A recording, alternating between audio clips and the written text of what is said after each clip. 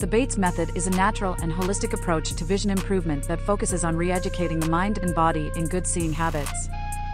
It was developed by an ophthalmologist and is based on the belief that many common vision problems are the result of habitual strain and tension in the eyes and mind.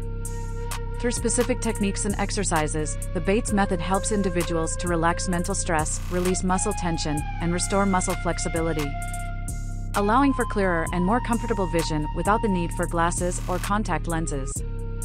If you're tired of relying on eye crutches and want to get to the root of the problem, consider trying the Bates method today. Join our program to learn more.